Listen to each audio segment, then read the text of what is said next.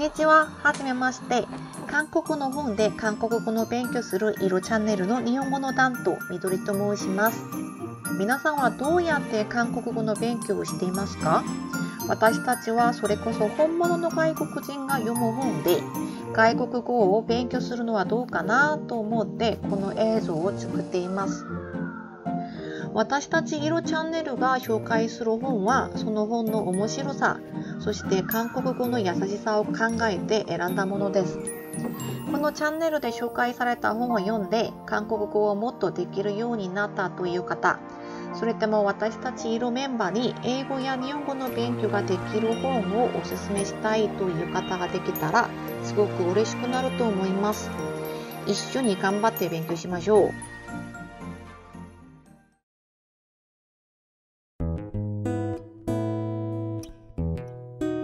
皆さんはどんな機会で韓国語の勉強を始めたんですか？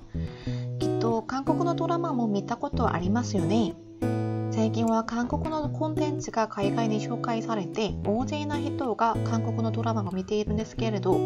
もしそのうちにドラマに出た本が見つけたことはありませんか？韓国ではドラマにいろんな本が出てその主人公が読んだ本がベストセラーになったことがあります。例えば紳士の品格の出た本どこかで私を探しているベルが泣いてやシカゴタイプライターのもしかして私が一番聞きたかった言葉などがあります。そして今から紹介するのもこんなものです。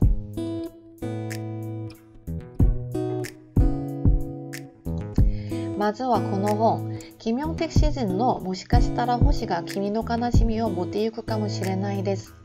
この本は人気ドラマだったドッケビで主人公キムシンとジエンタが読んだ詩集であります。そもそもジエンタが持っていたのをキムシンが借りて何度も出ました本です。特にキムシンがジエンタを見ながら詩を読むのはこのドラマで一番人気ある場面で愛されたんです。この本はキミョンテクという詩人が選んだ111円の韓国の詩を紹介しています。そしておのおの詩の横にはこうやって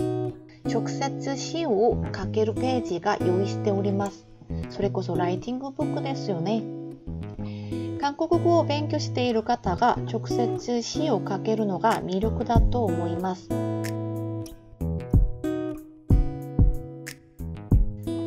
ここにキムシンが読んだ詩がありますよね。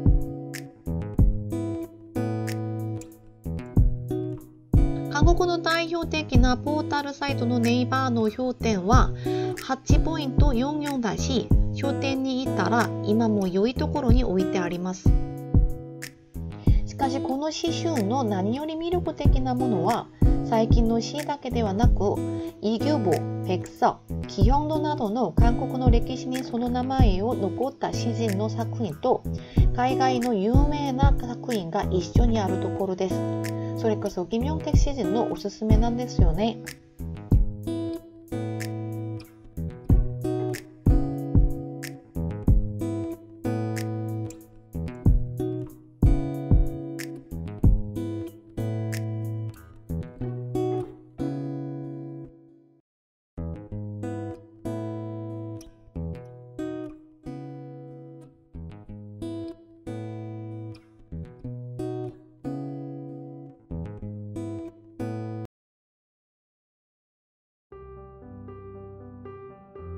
2つ目の本はちょっと難しさを狙いました。パクチュンというシズンのあなたの名前を書いて何日間を食べたです。題目がちょっと難しいですよね。まるであなたの名前を後半みたいにしています。この人はどのぐらいあなたという人の名前を口から感じたんですかねこの詩集は最近話題になっているドラマボーイフレンドの主人公キム・シニョが読んだ本の一です。このドラマで話題になった本はこの本の以外にもありますけれど、わざわざこの本を選んだ理由は簡単です。この本はドラマに出た前からずっとベストセラーですから。だって、題目からロメチックすぎるんじゃないですか？あなたの名前を書いて何日間を食べたって。またはドラマに出た前に韓国の本おすすめのブロで紹介されて話題になったこともあります。ネイバーの評点8ポイント02でいろいろな人が好きな本です。でも言った通りこの本はちょっと難しいです。それでこの詩集はちょっと韓国語の実力が十分でまたは市自体が好きな方におすすめしたいです。